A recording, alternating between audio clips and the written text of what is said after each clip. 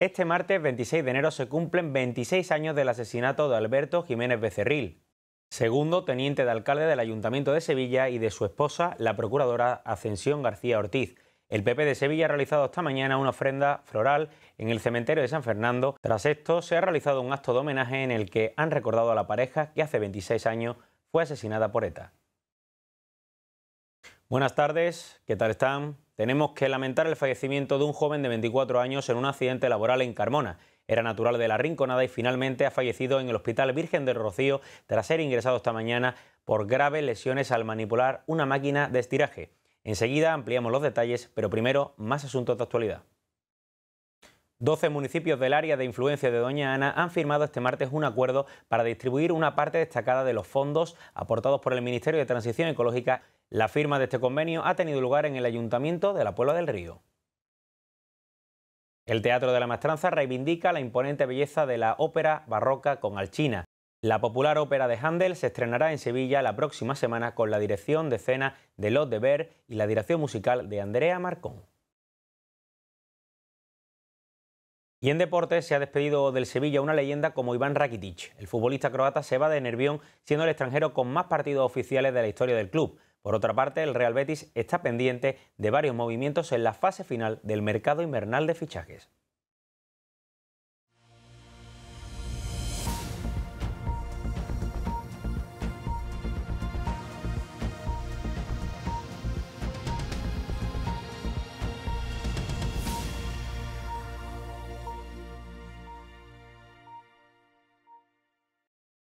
Como cada 30 de enero, Sevilla ha recordado al concejal Alberto Jiménez Becerril y a su esposa Ascensión García con motivo del 26 aniversario de su asesinato a manos de ETA.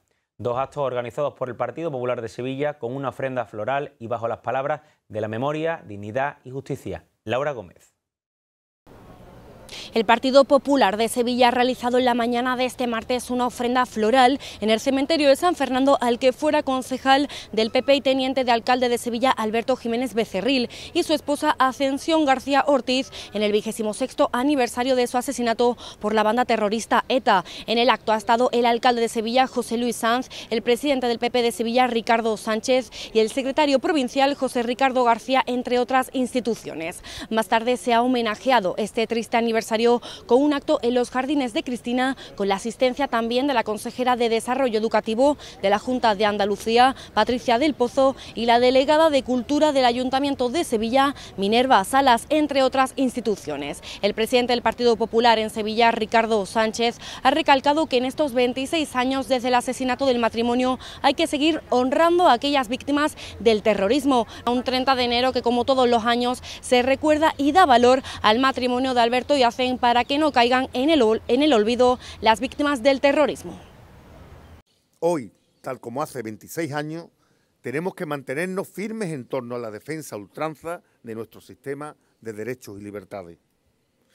Y para ello es necesario que más que nunca honremos y recordemos a aquellos que realizaron el máximo sacrificio, dar hasta su propia vida, tal como nuestros Alberto y hacen, por una España en la que poder criar libremente a nuestros hijos en paz. Hoy es un día muy importante para que se oiga también la voz de las víctimas de ETA, para que se oiga la voz de los españoles que estuvieron a nuestro lado.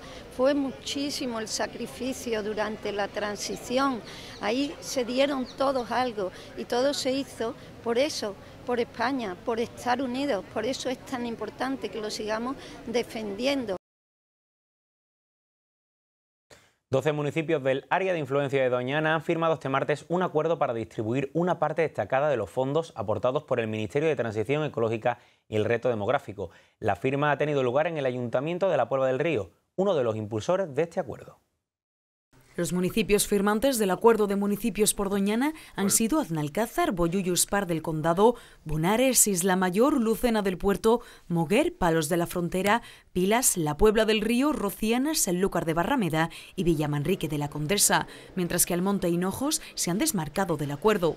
Del total de 350 millones de euros aportados por el MITECO, se distribuirán ahora los pertenecientes a la línea 10 del plan, una subvención de 70 millones de euros que será repartida entre las entidades locales de la Reserva de la Biosfera de Doñana. Así lo ha explicado la alcaldesa de la Puebla del Río, Lola Prosper. Va a tener un papel muy importante en el desarrollo económico de nuestros pueblos en estos años venideros puesto que la gran mayoría tienen que reconvertir sus sectores económicos y aparte lo que no podemos olvidar y lo que es la base fundamental del acuerdo es la protección de Doñana. En este acuerdo los 12 municipios han señalado que se ha dado un paso trascendental y demuestran la determinación de estos ayuntamientos para impulsar la sostenibilidad y la protección ambiental en la comarca de Doñana, así como para propiciar una diversificación equilibrada de su economía. Durante la firma del convenio en el Ayuntamiento de la Puebla, la alcaldesa de Aznalcázar, Manuela Cabello, ha destacado los beneficios que tendrá este acuerdo.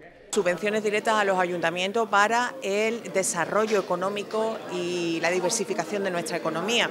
Un pilar muy importante si queremos seguir en la lucha como seguimos tantos años llevando en la conservación de Doñana, porque si queremos conservar a Doñana, la gente que ha conservado y que ha vivido en Doñana tiene que tener, eh, tiene que ser capaces de vivir en el territorio. Los municipios han coincidido en que esta masiva unión refleja el compromiso conjunto de estos municipios con la protección de Doñana y la promoción del desarrollo sostenible en la región. La Diputación renueva su colaboración con la Confederación de Empresarios de Sevilla y su participación con la Junta de Andalucía en la infraestructura hidráulica para la Sierra Sur. La Junta de Gobierno ha aprobado también el procedimiento para la adquisición de vehículos de recogida de residuos sólidos urbanos.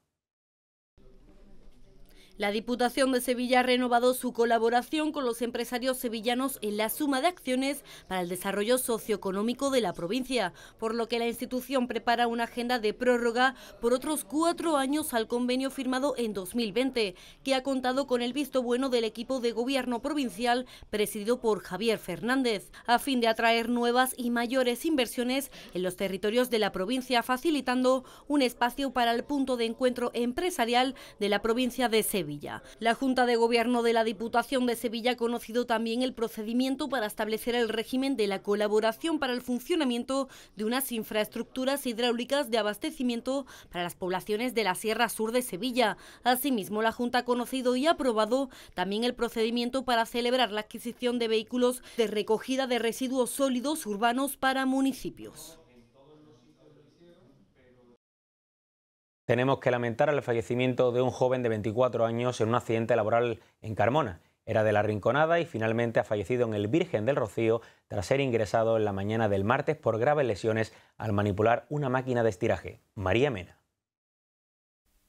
Sí, se confirma el fallecimiento del trabajador de 24 años y natural de la Rinconada, ingresado este martes con graves lesiones al manipular una máquina en una fábrica de Carmona. Un aviso de socorro sobre las 7 de la mañana de este mismo martes alertó sobre un trabajador que había resultado herido con una máquina en el parque logístico de Carmona. Tras practicarle unas tareas de reanimación y estabilización, había sido trasladado en estado grave al Hospital Traumatológico del Virgen del Rocío. Por su parte, Comisiones Obreras de Sevilla ha lamentado la muerte de este trabajador, señalando que se trata de un nuevo caso de siniestralidad laboral. El sindicato se ha puesto a disposición de la familia del fallecido, además de también al Ayuntamiento de la Rinconada. Han confirmado que comprobarán que se depuren las responsabilidades pertinentes y se personarán como acusación popular en este caso. Vamos quitándoles días al calendario y poco a poco queda menos para la Feria de Abril. El Ayuntamiento de Sevilla adelantará la reapertura del tráfico por la calle Antonio y Bienvenida una vez que finalice la feria. Para ello, el consistorio ha llegado a un acuerdo con la empresa encargada del montaje de la portada para agilizar los plazos de desmontaje y permitirá devolver a la normalidad el tránsito entre los barrios de Los Remedios y Tablada a finales de mayo. Del mismo modo, el próximo 1 de febrero se cortará definitivamente al tráfico la calle Antonio y Bienvenida desde la glorieta Avión Saeta. El delegado de Fiestas Mayores, Manuel Alés, ha señalado que con esta medida consiguen atender una demanda histórica de los vecinos de Los Remedios y de Tablada. El consejero de Universidad, José Carlos Gómez Villamandos, ha visitado el Parque Científico y Tecnológico de Cartuja para mantener una reunión con los responsables de casi 30 empresas tecnológicas y abordar la nueva programación en enseñanzas universitarias, todo ello atendiendo a las demandas de titulaciones universitarias que tiene el sector empresarial.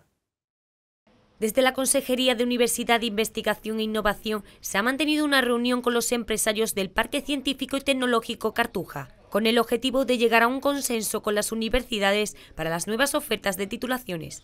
El tejido empresarial ha puesto sobre la mesa diferentes preocupaciones como las prácticas en empresa, los idiomas o las titulaciones más urgentes, como las que tienen que ver con la tecnología, las telecomunicaciones y la energía. El consejero del área, José Carlos Gómez Villamandos, ha asegurado que las propuestas van encaminadas a cubrir estos nichos de empleabilidad. Y ahora tenemos que ajustar esa oferta que hacen nuestras universidades con esa demanda del sector productivo para que se sigan generando empleos de calidad. Esto es un trabajo que tenemos que hacer entre todos, donde las empresas tienen y van a, seguir contribuyendo a la formación de nuestros estudiantes y donde además la especialización de las personas que ya tienen formación Villamandos ha asegurado que habrá una próxima convocatoria de microcredenciales, que son cursos de especialización que van a tener una oportunidad para mejorar empleo o buscar el primer trabajo a través de una formación de alta calidad que siempre tiene que ser colaborativa. Por otro lado, ha asegurado que es trabajo de todos mostrar las posibilidades de empleo que hay en Andalucía, para que nuestros jóvenes no se vayan fuera a buscar oportunidades. La Autoridad Portuaria de Sevilla ha publicado dos licitaciones para ampliar y mejorar la actual infraestructura ferroviaria del puerto. Por un lado, ha licitado la construcción de un nuevo ramal que facilitará el acceso ferroviario hasta las nuevas terminales portuarias y desarrollos logísticos previstos en la dársena del cuarto. Esta nueva infraestructura, que alcanzará casi los dos kilómetros de longitud, cuenta con un presupuesto base de licitación de 2,2 millones de euros y el plazo de ejecución es de ocho meses. Por otro lado, la institución portuaria ha publicado el concurso público para la redacción del proyecto que permitirá extender el trazado ferroviario hacia el extremo sur de la dársena del Cuarto. Gracias a estas dos actuaciones, la autoridad portuaria mejorará la conectividad de una zona con gran potencial de crecimiento.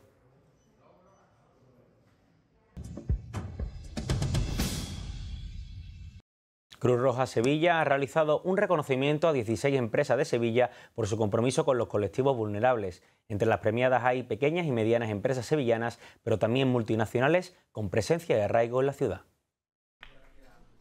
Cruz Roja ha organizado un acto de reconocimiento a las 16 empresas de Sevilla que se han distinguido en el último año por colaborar con la institución humanitaria para apoyar a personas en situación de vulnerabilidad a través de diferentes iniciativas y proyectos como el Plan de Empleo. En el acto ha participado el delegado de Empleo y Economía del Ayuntamiento de Sevilla, Álvaro Pimentel, que ha puesto en valor la alianza entre el tejido empresarial y las entidades sociales. Aquí se junta las dos caras de las empresas, crean empleo y sobre todo mm, destinado a los colectivos más vulnerables de la sociedad, por eso hay que ponerlo en valor y hay que contarlo, lo he dicho ya en el acto muchísimas veces.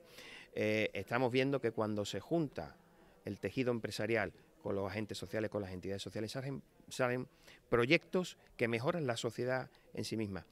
Asimismo, el presidente de la Cruz Roja en Sevilla, Francisco Rodríguez, ha destacado este tipo de actos. Bueno, este acto para mí es casi lo más importante que hacemos en el año porque es donde eh, se unen las personas que necesitan trabajo con las personas que representantes de las empresas que proporcionan esos trabajos, ¿no?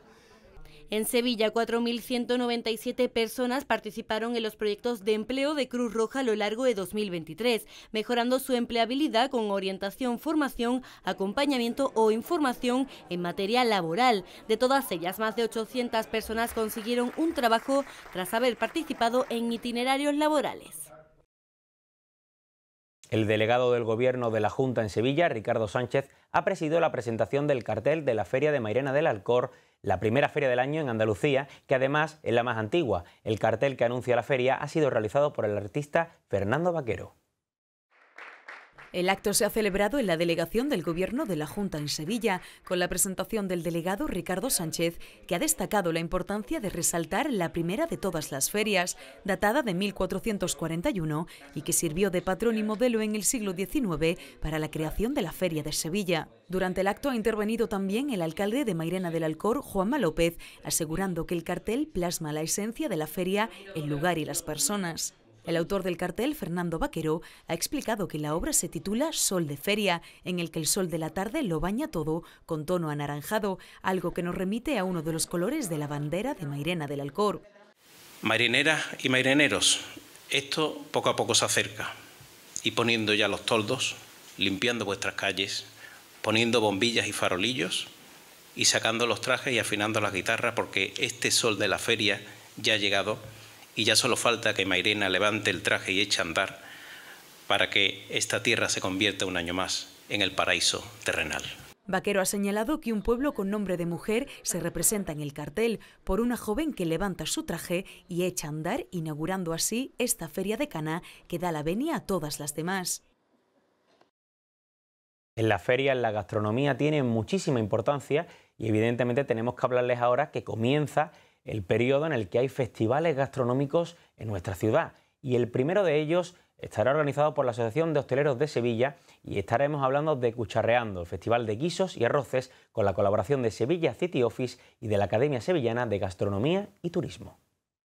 La Academia Sevillana de Gastronomía y Turismo y la Asociación de Hosteleros de Sevilla y Provincia, con la colaboración del Ayuntamiento sevillano, traen un nuevo festival para degustar nuestros guisos y arroces del 2 al 4 de febrero en Paseo Colón. El presidente de la Academia Sevillana de Gastronomía y Turismo, Julio Moreno, ha señalado en la presentación la importancia de la gastronomía sevillana a nivel mundial.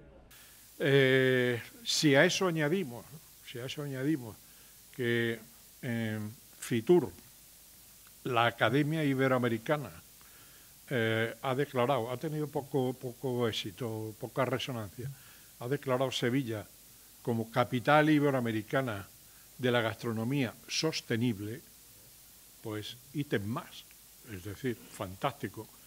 Habrá, eh, habrá alguna variedad de gastronomía sostenible que la de los guisos, la entrada al recinto tendrá un precio de 4 euros incluyendo una bebida y los visitantes disfrutarán de actuaciones musicales, demostraciones de cocina en directo y concursos.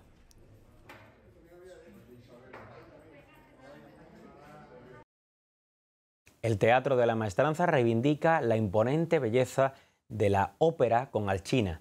La popular ópera de Handel se estrenará en Sevilla la próxima semana con la dirección de Lot de Ver y la dirección musical de Andrea Marcón.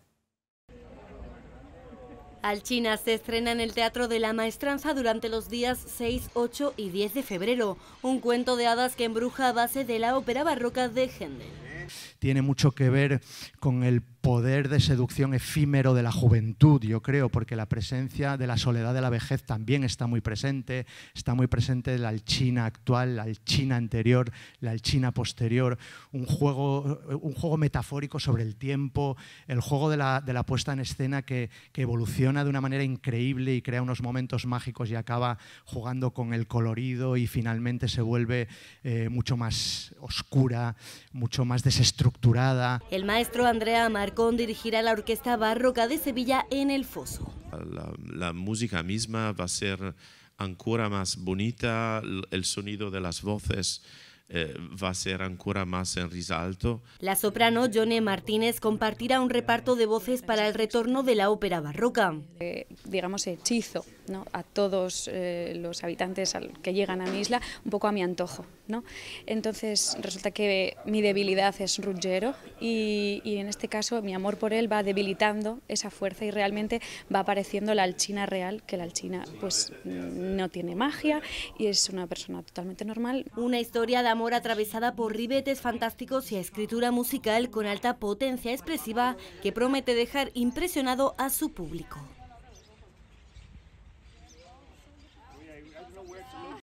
Les dejamos ahora con la actualidad deportiva de la ciudad de la mano de Fran Campos.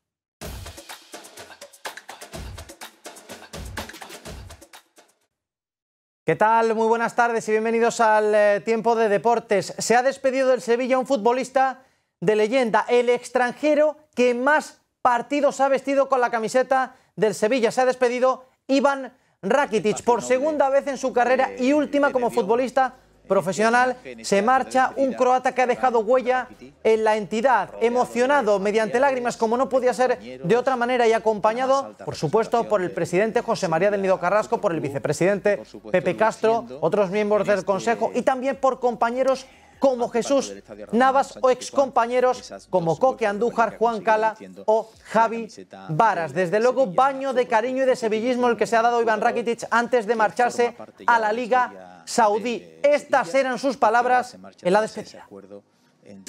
Para mí ha sido, ¿qué va a decir? No un orgullo, sino lo siguiente. Ver aquí...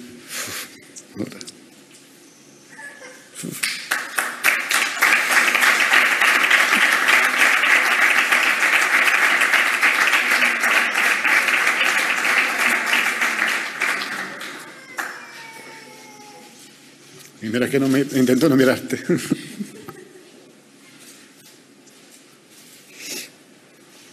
bueno.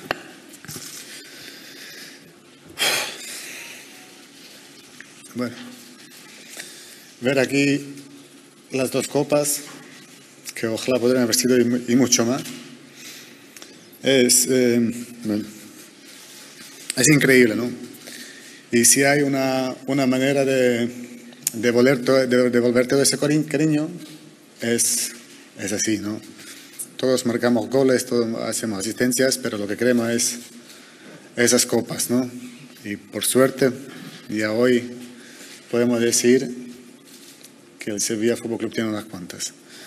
¿Cómo puede ser que un chico nacido en Suiza, un croata,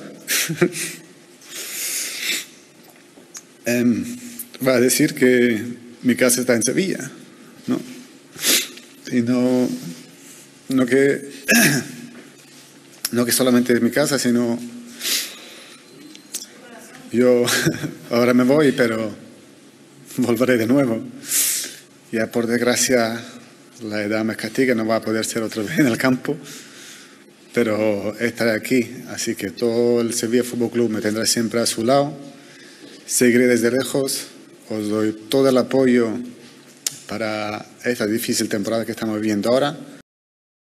Eso en el Sevilla Fútbol Club, que descansa y no volverá al trabajo hasta mañana, pendientes del mercado, como no podía ser de otra manera. En ese mercado de fichajes, el Real Betis Balompié es el principal animador, tanto en entradas como en salidas. Suenan muchísimos nombres, aunque hay uno que es clave tanto para posibles fichajes como para posibles bajas. Luis Enrique, el brasileño, al que muchos habían dado ya como fuera del Betis, muchos habían anunciado ya prácticamente su fichaje por el Botafogo brasileño, se hablaban de cantidades entre 16 millones fijos y 4 variables, es cierto que ya habría acuerdo entre el Real Betis Balompié y el grupo inversor que dirige a los brasileños, pero falta el ok del jugador, falta la luz verde del protagonista y esa no ha llegado. Esta mañana han estado su, sus agentes de representación en las oficinas del Real Betis Balompié intentando desbloquear la situación. Luis Felipe mientras se ha entrenado, Luis Enrique se ha entrenado a las órdenes de Manuel Pellegrini, acompañado por un futbolista que también suena en las últimas horas para abandonar la entidad verde y blanca. Hablamos de William José, su compatriota por el que se ha, se ha interesado fuertemente el Palmeiras brasileño y aunque Manuel Pellegrini se quedaría sin delantero si se marchara William José, el Betis está abierto a negociar y no vería con malos ojos una salida del Tigre de Alagoas. Manuel Pellegrini, mientras tanto, está expectante por ver quién sale, quién se queda mientras ha recuperado a Oitón Ruibal en lo deportivo, pero desde luego son horas clave para el futuro y el presente inmediato del Real Betis Balompié con lo que pueda entrar y con lo que pueda salir. Precisamente en esas posibles entradas de las que hablamos, entra el Chimi Ávila. Esto decía su representante en la Cámara de 101 Televisión Sevilla hoy a la salida del Estadio Benito Villamarín, donde ha estado reunido con los dirigentes verdiblancos. Sí, sí, el jugador eh, está dispuesto a venir sin, ningún problema, eso lo ha manifestado, también se lo ha manifestado el club. Eh, tiene ganas de tomar un nuevo desafío. El jugador sabe que va a rendir mucho, sabe que puede hacerlo y tiene mucha confianza en él.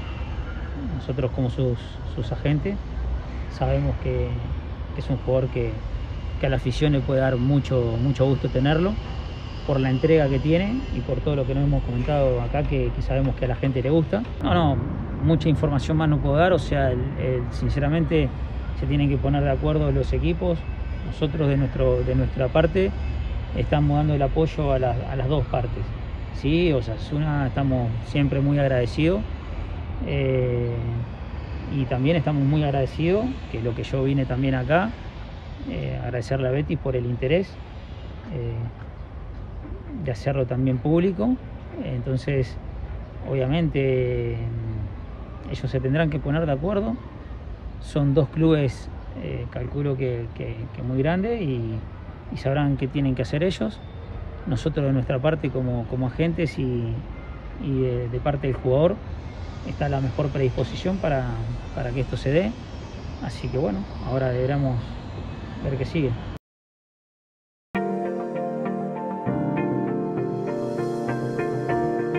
Lipasam patrocina El Tiempo.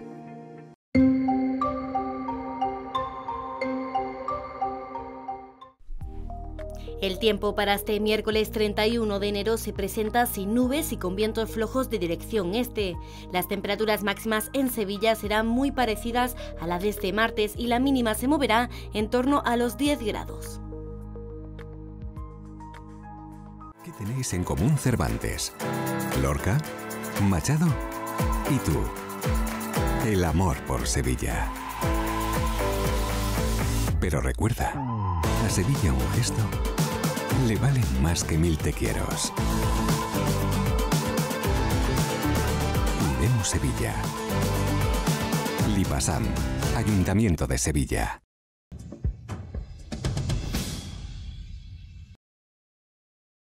Hoy queremos despedirnos recordando que aún pueden conseguir su entrada para disfrutar de un espectáculo inigualable. Su protagonista, el añorado Pascual González, que renacerá este 2024 para volver a cautivarnos con un inigualable espectáculo musical que no dejará a nadie indiferente. Se trata de Padre Nuestro, el legado cofrade de Pascual González, que durante el mes de marzo recorrerá diferentes ciudades andaluzas, siendo el día 16 la fecha escogida para su función en Sevilla. Con esta obra que llega de la mano de Grupo Mundo nos marchamos. Hasta mañana de procesión cofradiera. Esa chica es de oro, ¿cómo anda? ¿Quién la lleva?